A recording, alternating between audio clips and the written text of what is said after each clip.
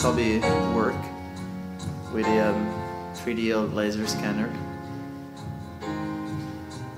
And today, on March 5th, Fifth. 2015, Yeah. this is kind of new and kind of fresh and kind of innovative. The future.